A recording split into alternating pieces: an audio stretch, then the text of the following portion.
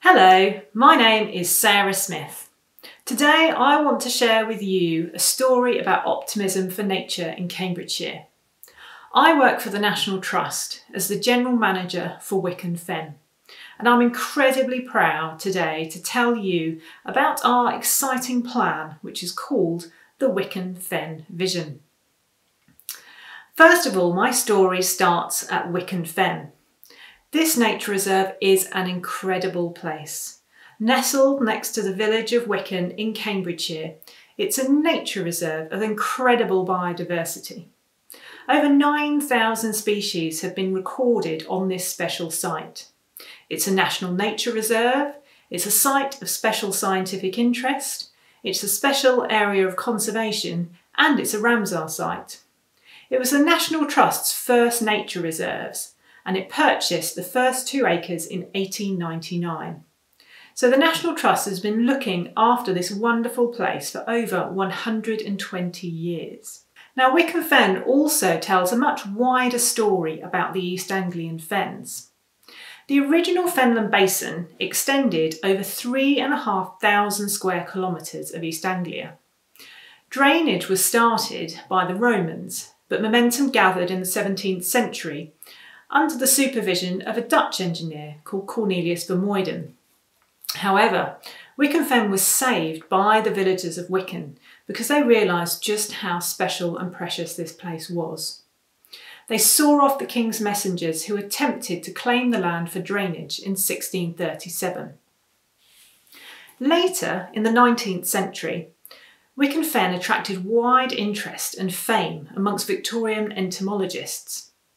Many of these were based at the University of Cambridge, and some of them purchased areas of land of the undrained fen in order to secure it for the future. Many of them then later sold it and bequeathed it to the National Trust when it became the Nature Reserve in 1899. Unfortunately, less than 0.2% of original undrained fen remains in East Anglia. But this is not the story that I've come to tell you today. By the mid 1990s, the National Trust had been looking after Wicken Fen for nearly 100 years. The fens had seen an enormous amount of change going on around them. Drainage had continued, agriculture had intensified in the local area, and despite the National Trust looking after it, it had actually lost species during that time. The Wicken Fen had become uh, isolated as an island of biodiversity and it was one of only four remaining fragments of undrained fenland. The local population was growing and more and more people needed green space and places to explore. More visitors meant more pressure on this precious fragment of undrained fenland. The Trust identified that something needed to change. Looking after the fen in its small isolated patch wasn't going to be enough to see through the next 100 years of this special place. So the Wicken Fen Vision was born.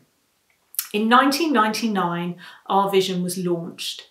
It's a visionary 100 year plan to extend the nature reserve all the way to Cambridge.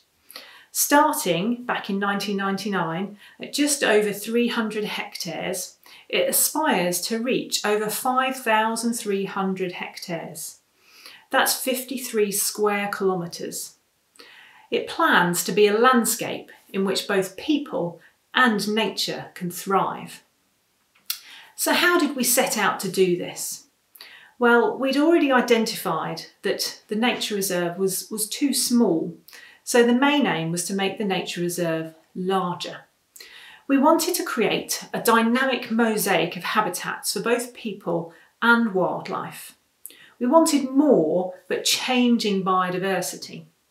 We wanted more diverse ecosystems. And we wanted increased access and engagement for local communities. We also recognised the impacts of climate change on the fenland habitats.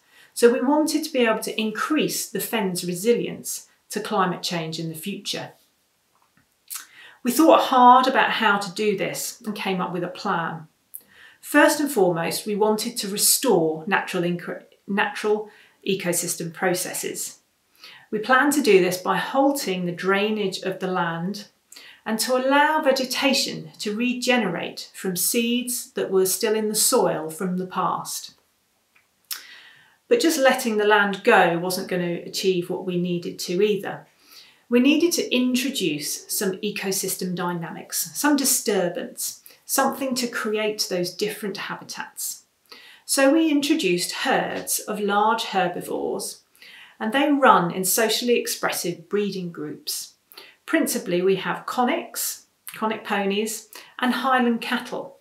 And at the moment, we have about 100 head, 150 head of livestock that roam across wide areas of the Wicken Fen Vision area. So that was 22 years ago this spring that we launched the Wicken Fen Vision.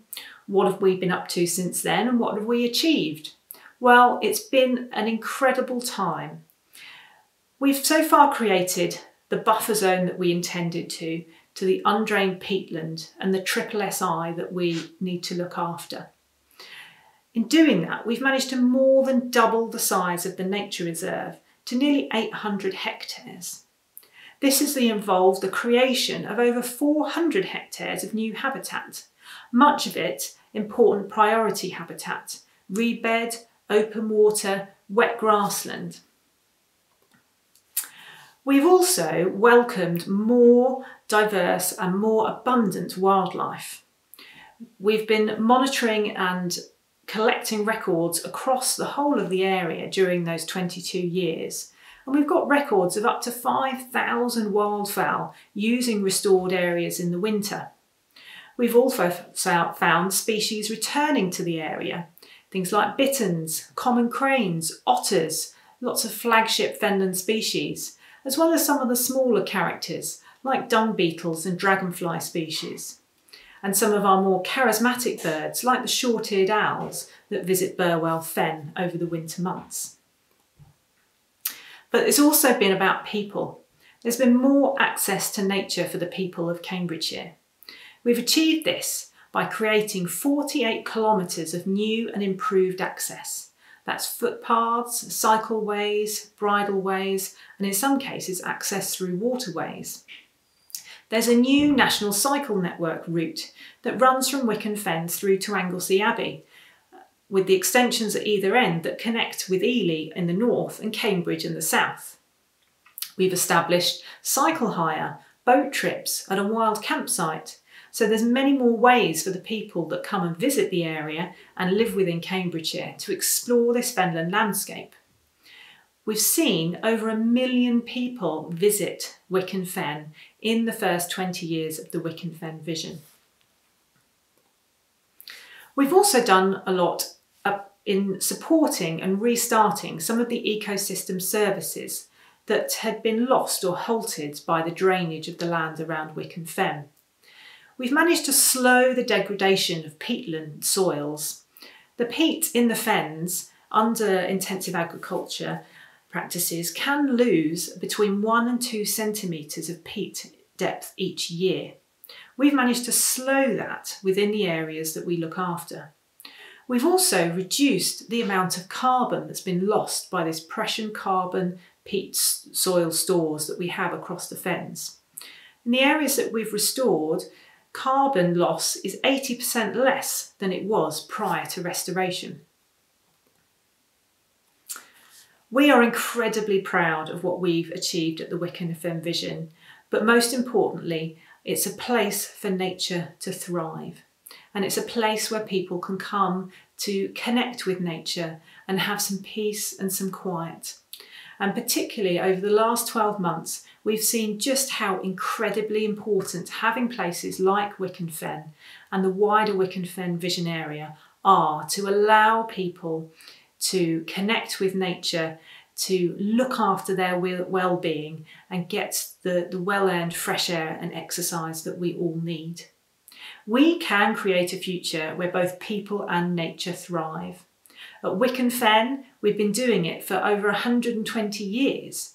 And particularly in the last 20 years in the Wicken Fen vision, we've got made great strides to improving the fenland landscape for wildlife. We've proved we can do it, we know we can do more, and we have the energy, passion, and enthusiasm to go even further over the next 80 years of our Wicken Fen vision. Thank you for listening today. Take care.